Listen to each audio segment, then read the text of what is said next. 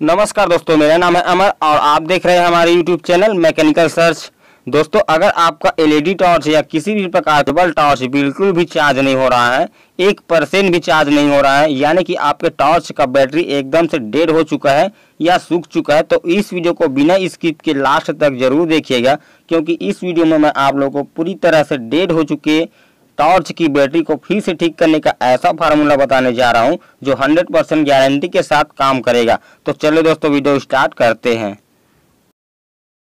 तो दोस्तों, सबसे पहले तो हम इस टॉर्च को ओपन कर लेते हैं और उसके बाद आपको बताते हैं कि आपको क्या करना है, कौन सा फार्मूला को आपको अपनाना है। तो हमने यहाँ पर जो टार्च है दोस्तों एलईडी टॉर्च, उसको इस तरह से ओपन कर लिए हैं। दोस्तों, हम जब इसे प्लग में लगाते हैं तो इसका जो इंडिकेटर होता है दोस्तों, वह जलता है, मगर यह बैटरी है, वह एक परसेंट भी इसमें चार्ज नहीं होता है। तो दोस्तों, आपको इसका जो सर्किट होता है, उसे खोल लेने के बाद चेक कर लेना है, क्योंकि हो सकता है दोस्तों, इसका जो सर्किट का वायर है, जो कनेक्शन बैटरी पर हुआ हुआ होता है, वह कहीं डिस्कनेक्ट तो नहीं है, जिसके कारण से हमारा बैटरी तक पावर सप्लाई ना जा रहा हो, जिसके कारण से हमारा जो बैटरी है, वह चार्ज ना हो रहा हो। तो दोस्तों, आपको इस तरह से चेक कर लेना है।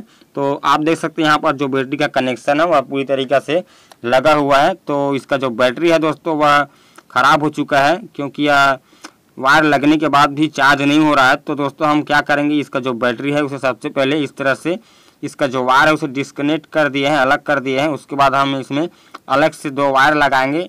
तो दोस्तों, अलग से वायर हम इसलिए लगा रहे हैं ताकि आपको अच्छे से समझ आ चुके। समझ आ सके, इसलिए हमने यहाँ पर एक्स्ट्रा वायर लगाए। तो दोस्तों, हम आपको यहाँ पर दो फार्मूला बताएँगे। तो दोस्तों, पहला फार्मूला आपको बताएँगे, उसके बाद जो दूसरा फार्मूला होगा दोस्तों वह हंड्रेड परसेंट काम करेगा। तो दोस्तों, सबसे पहले हम यहाँ पर इस बैटरी में डिस्टिल वाटर डालेंगे। उसके लिए हम एक सिरिंज का आवश्यकता होगा इस प्रकार से, जिसकी मदद से हम इस डिस्टिल वाटर को इसके अंदर डालेंगे।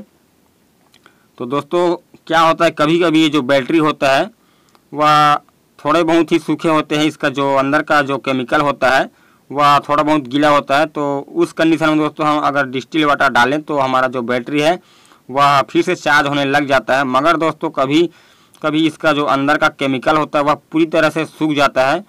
उसके बाद हम डिस्टिल वाटर डालते हैं, फिर भी हमारा जो बैटरी है, वह चार्ज नहीं होता। तो दोस्तों हमें पता नहीं है कि इसके अंदर का जो केमिकल है, वह पूरी तरीके से सूख चुका है या गीला है तो इसीलिए हमने यहाँ पर सबसे पहले डिस्टिल वाटर डालकर टेस्ट करके देखते हैं कि हमारा जो बैटरी है, वह चार्ज होता है कि नहीं, इसमें पावर स्टोर होता है कि नहीं। तो हमने यहाँ पर वायर लगा लिए हैं और इसमें डिस्टिल वाटर डाल दे हैं। अब में चार्जिंग करके आपको दिखाएँगे। तो दोस्तों, इसे चार्ज करने के लिए हम यहाँ पर मोबाइल चार्जर का यूज़ करेंगे, जिसका कि जो पिन होता है, वह ख़राब हो चुका था। तो हमने आगे से काट कर इसे तैयार कर लिए हैं। हम ये जो रेड वाली वायर है उसको प्लस में जोड़ेंगे और इसका जो ब्लैक वाली वायर है, चार्जर का, उसे बैटरी का माइनस में जोड़ेंगे। और इस तरह से दोस्तों, इस बैटरी को हम यहाँ पर आधे घंटे चार्ज करके देखेंगे कि यह बैटरी है, वह चार्ज होता है कि नहीं। ये हमारा पहला टेस्ट है दोस्तों। इसके बाद हम दूसरा टेस्ट करेंगे, जो हमारा दूसरा फार्मूला होगा। तो हम यहाँ पर इसका जो प्लस वाली वायर है, उसे चार्जर का प्लस के साथ जोड़ लेते हैं। उसके बाद इसका जो माइनस वाली वायर है, उसे चार्जर का माइनस के साथ जोड़ देते हैं। तो दोस्तों, हम यहाँ पर एक एक्स्ट्रा लाइट लगाएँगे ताकि आपको दिखे कि यह चार्ज हो रहा है। आपको समझ आए कि यह चार्ज हो रहा है। तो हम यहाँ पर झालर लाइट का जो बल्ब आता है, उसको यहाँ पर दोनों वायर पर इस तरह से लगा देते हैं ताकि जब हम इसे प्लग में लगाएँ तो ये हमारा लाइट जले और हमें समझ आए कि इसका जो पावर है, यह बैटरी तक जा रहा है। तो हम इस मोबाइल चार्जर को अपने प्लग में लगा लेते हैं इस तरह से। तो दोस्तों, आप देख सकते हैं, इसका जो लाइट है, वह जल रहा है। मतलब इसका जो पावर है, वह हमारा बैटरी तक जा रहा है। तो दोस्तों, हम इस तरह से आधे घंटे कम से कम चार्ज करके आपको दिखाएँगे कि यह बैटरी चार्ज होता है कि नहीं। तो दोस्तों, हमने यहाँ पर आधे घंटे चार्ज कर लिए हैं। अब आपको दिखाते हैं। तो दोस्तों, अगर हमारा बैटरी चार्ज हुआ होगा तो हम जैसे ही इसका जो स्विच है, हमारा स्विच बोर्ड का, उसे ऑफ़ करेंगे तो बैटरी की पावर से हमारा जो लाइट है वह जलता रहेगा। अगर इसमें पावर स्टोर नहीं हुआ होगा तो ये जो हमारा लाइट है वह ऑफ़ हो जाएगा। तो दोस्तों आप देख सकते हैं जैसे ही हमने स्विच बोर्ड का स्विच ऑफ़ किया ये जो हमारा लाइट था जो हमने बैटरी में लगाया था वह ऑफ़ हो चुका है।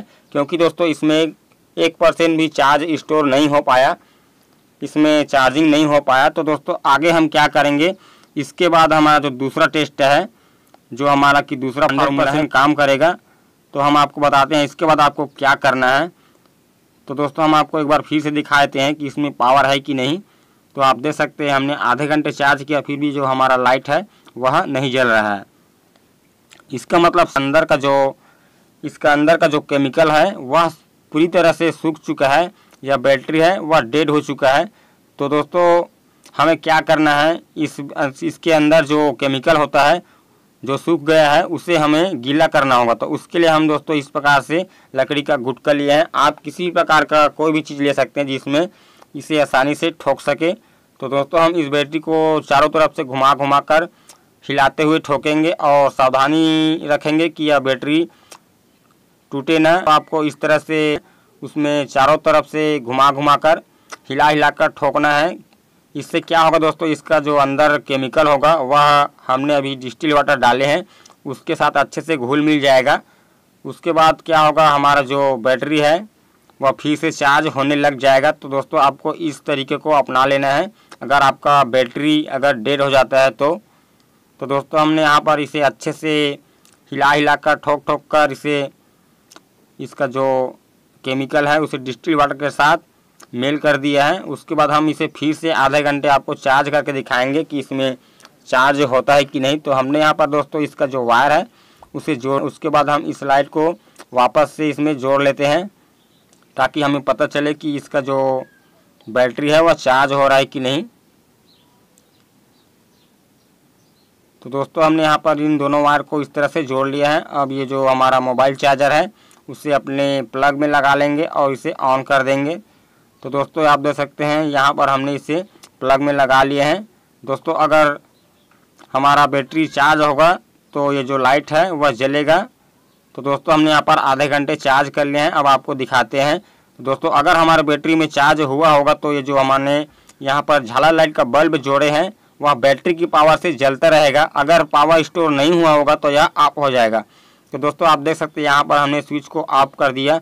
फिर भी हमारा जो लाइट है जो कि हमने बैटरी पर जोड़े थे, वह जल रहा है। इसका मतलब है दोस्तों, ये जो हमारा डेड बैटरी था, वह फिर से वर्क करने लग गया है। आप देख सकते हैं दोस्तों, पहले बार हमने जब टेस्ट किए थे तो यह लाइट नहीं जल रहा था। और दूसरे बार दोस्तों, हम इसे जब हिलाकर ठोक कर इसे चार्ज किया तो यह जो हमारा डेड बैटरी था, वह फिर से चार्ज हो रहा है, फिर से चार्ज स्टोर कर रहा है। इसका मतलब दोस्तों, ये जो हमारा बैटरी है इसे अब अच्छे से चार्ज करने के बाद ये हमारा जो बैटरी है, अच्छे से इसमें चार्ज हो जाएगा। तो उसके बाद दोस्तों हम क्या करेंगे, इसे फिर से इसका टॉर्च है, उसके वायर के साथ कनेक्शन कर देते हैं और उसके बाद दोस्तों आपको दिखाएँगे कि ये जो हमारा टार्च का जो लाइट है, वह इस बैटरी से जल रहा है कि नहीं। तो हमने यहाँ पर इसे सोल्डिंग कर दिए हैं, उसके बाद इसे पैक करते हैं और आपको जला कर दिखाएँगे कि इस बैटरी से हमारा जो टार्च है, वह जलता है कि नहीं। दोस्तों, हमने आपको समझाने के लिए मात्र आधे घंटे चार्ज किया है। इसे लगभग दोस्तों, दो से तीन घंटे आपको चार्ज करना होगा इस फार्मूला को अपनाने के बाद। तभी आपका जो बैटरी है, वह अच्छे से वर्क करेगा। मात्र दोस्तों, हम आपको समझाने के लिए आधे घंटे चार्ज किया है दिखाने के लिए। तो हम जला देते हैं दोस्तों, आप देख सकते हैं इसका जो लाइट है, वह जल चुका है। तो दोस्तों, आप अगर आप परेशान हो, आपके बैटरी चार्ज नहीं हो रहा हो, आपका जो टार्च है, वह चार्ज नहीं हो रहा तो आप इस फार्मूला को अपनाकर उसका रिपेयर कर सकते हैं। तो दोस्तों, आशा करता हूँ आपको यह वीडियो पसंद आया होगा। अगर पसंद आया दोस्तों प्लीज़ वीडियो को लाइक कर दीजिएगा और हमारे चैनल को सब्सक्राइब कर दीजिएगा। तो चले दोस्तों, मिलते हैं नेक्स्ट वीडियो में। तब तक के लिए जय हिंद, जय भारत।